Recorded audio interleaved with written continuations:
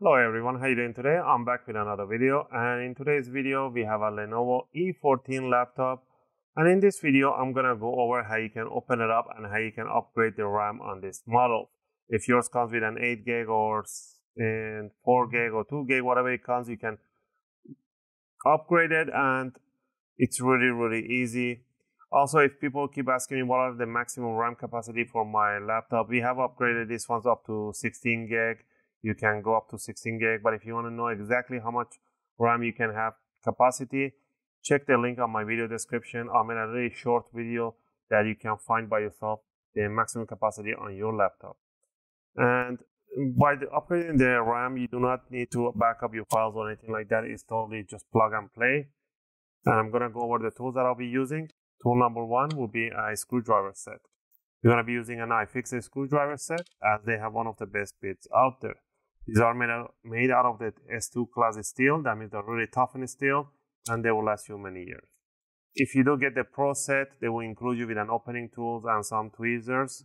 If not, just grab yourself for the opening tool a guitar pick. A guitar picks are really suitable to opening cases and covers. Alright, with these two on hand, we're gonna get started. Power off the laptop, flip it upside down, and on the bottom cover, you're gonna see a whole bunch of screws. These screws, they do have a little C-lock on the other side. That means will prevent the screw from coming out entirely. So all you need to do is twist, twist until you feel the screw that is really loose. So you know, no matter how much I unscrew this one, it will not come out. So you want to do enough turns in here and you want to feel that wiggly thing and that's it. Also, if you guys find my videos useful and helping you guys to do your own upgrades, you can support the channel by clicking that like and support I greatly appreciate it. It helps and motivates me to make more videos, take requests, and answer your questions in the comment area. I appreciate that.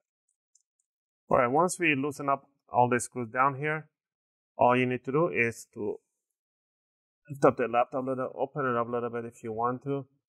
And we want to stick the guitar pick or the opening tool between the palm rest and the bottom cover. Try to squeeze it somewhere over there, about one or two millimeters and then you just want to twist it back inward just toward the keyboard just gonna go like that. And you want to hear a tiny tiny clicks or big sound doesn't matter. Just want to twist it all around the front end and the side. Both sides you want to do it. All the way to the back corner. Once i do the front and the sides i don't need to do the back end. All i do i grab it from front wiggle it around a little bit and it will release the back side. There's a tiny clips but if you want, you can just do the back end too. All right.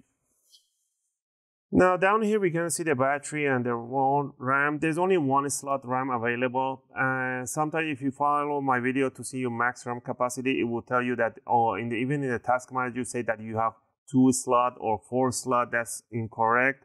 You only have one slot. And the reason is because of the BIOS knows, doesn't know that how many slots is being installed on the motherboard and it's programmed for two or three slots or four slots.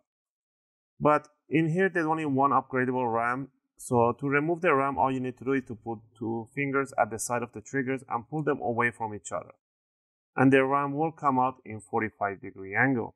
And all you need to do is to slide it backward in 45 degree angle. This one is an 8 gig DDR4.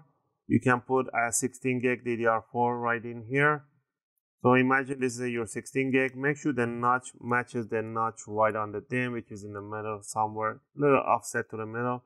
So if you try to put it the other way around, it will not go through.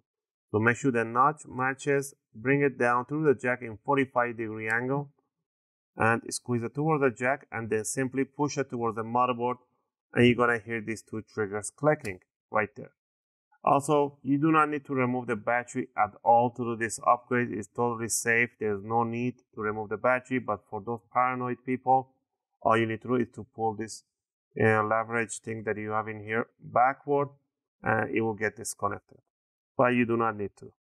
Once you put your new RAM in there, all you need to do is put the bottom cover right on top, squeeze the sides, squeeze the corners and tighten up the screws that you loosen up on the bottom cover. Just remember, once you power on, it might take 5 to 10 seconds to boot up because it's going to detect that RAM has been changed and it will do a memory check. And that will be all. If you guys like this video, please click that like and subscribe. If you have any question or requests, feel free to leave them in a video comment. I'll try to answer them as soon as I can. As always, thanks for watching and I'll see you guys in my next video.